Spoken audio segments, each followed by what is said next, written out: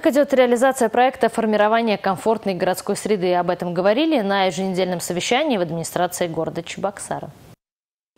Почти 170 миллионов рублей выделены Чебоксаром в рамках федеральной программы формирования комфортной городской среды. Жители столицы Чувашии во время голосования на портале «Открытый город» выбрали для благоустройства пять объектов. Один из них – создание арт-кластера и тихой зоны на Афанасьевском пляже и двух спусков к нему.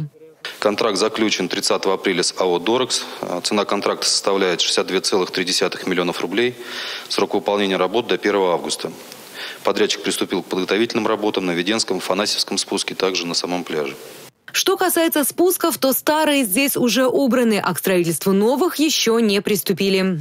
Мы же людям создаем изначально неудобства. Для чего? Ну так вы проведите процедуры, определите подрядчика, пусть он закупит все, что ему нужно, а потом разбирайте лестницу. Я прошу графики составлять с умом, ориентируясь на потребности жителей города.